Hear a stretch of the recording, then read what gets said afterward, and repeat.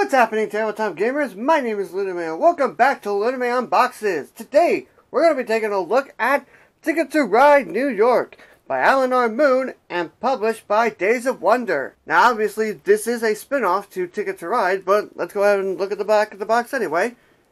See what it's about here.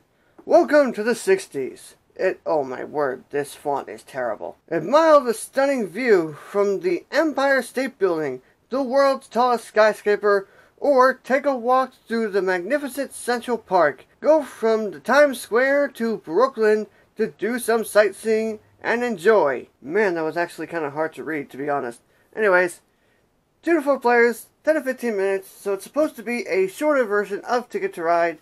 So with all that said, let's have a look at what this little game has to offer us. What do you got uh, for us, Ticket to Ride New York?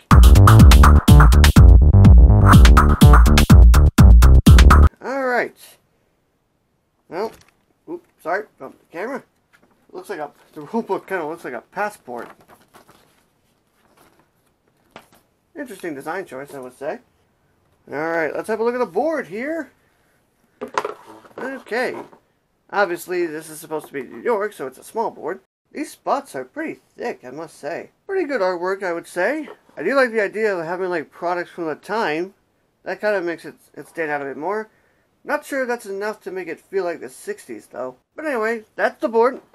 Not bad artwork, I would say. Let's have a look at the rest of the components here. This is a score sheet, okay. And by the looks of these symbols, looks like there's actually going to be an alternative way of scoring. Interesting. Let's have a look at these. I do like the idea of changing up the colors instead of the stereotypical red, white, heat, uh, blue, and green. Uh, nice plastic taxis. Pretty thick. Can't really squeeze them, so that's nice. So you're going to have to try really hard to break these things. Not that I would.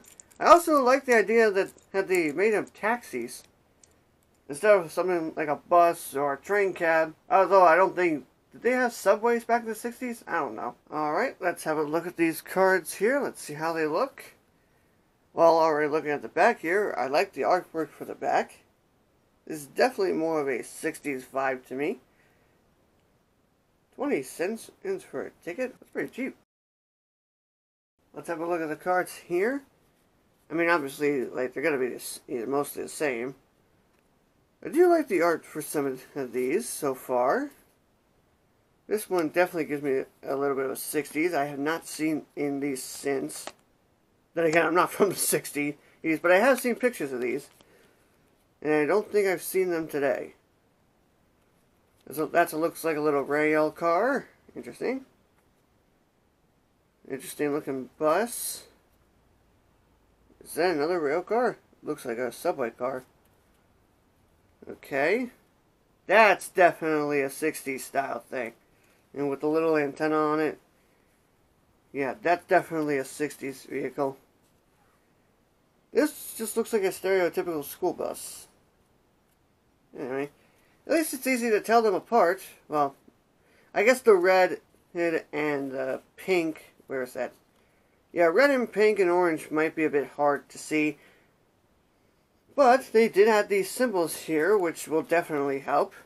Okay, let's go ahead and look at these tickets here. Obviously, like I said, these are the backs of the tickets.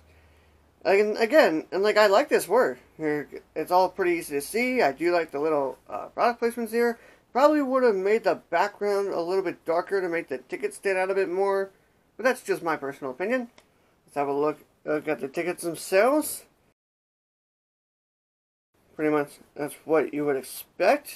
The little destinations between the two areas and the points you'd get. Although I do like how they kind of actually added more color to these tickets instead of just making them black and, and white, just like the uh, normal ticket to ride. I think that made it a little bit more eye appealing to me.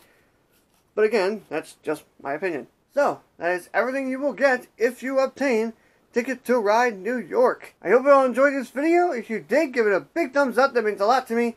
If you want to know how to play Ticket to Ride New York or you want to know my thoughts on it, Make sure you subscribe to the channel for more tutorials, reviews, and unboxings. Thank you all as always so much for watching, and I will see you in the next video.